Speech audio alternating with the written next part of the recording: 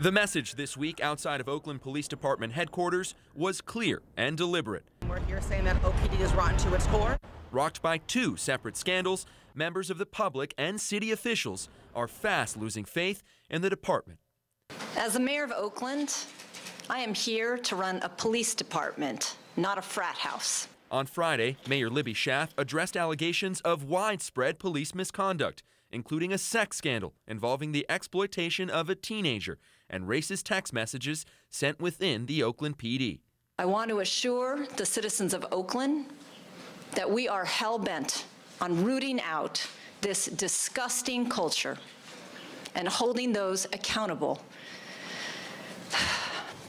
responsible for their misdeeds. It all started last fall with the suicide of an officer. Officials say an investigation into his death uncovered disturbing allegations. Within months, an 18 year old alleged she had sex with him, as well as a number of other officers from Oakland PD and surrounding police departments. We may have to go uh, to the complete federal oversight of our police department. Oakland City Councilman Noel Gallo has watched the fallout. In just nine days, three police chiefs have been fired or resigned. One chief lasted only five days. Meanwhile, there are also reports that African American officers within the OPD exchange racist text messages with each other.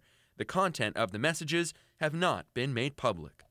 We not only hold people accountable for engaging in unacceptable hate speech, but also for tolerating it.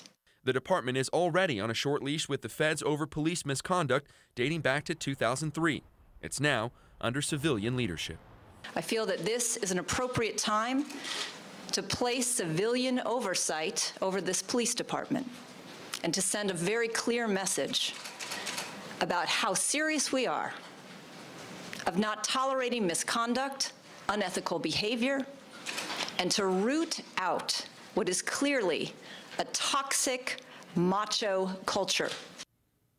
The mayor of Oakland there just disgusted with the police department. I just spoke exclusively to Celeste Guap. She is the young woman making these allegations, and she tells me by phone that this all started in February of 2015 when she was running from her pimp, she says, and an officer with the Oakland Police Department saved her, in her words. Rather than taking her to jail, they started a romance, she says, and from there, that officer introduced her to other officers and a network of cop customers was made. Now, she says something very interesting to me. She says that she didn't think that this would come out, and had that officer not committed suicide months later, none of this would have. An internal investigation was launched. She handed over her phone, and that's when all of this came crumbling down. Now, I spoke to Celeste earlier, I mentioned, and I asked her what the world needs to know about what happened.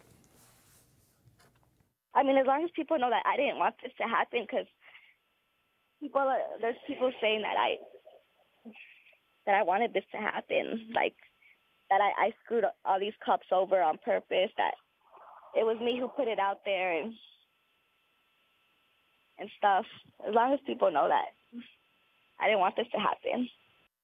Celeste says that she's conflicted. She knows that there should be consequences, but these officers, she says, became her friends, and in part, she became their confidant.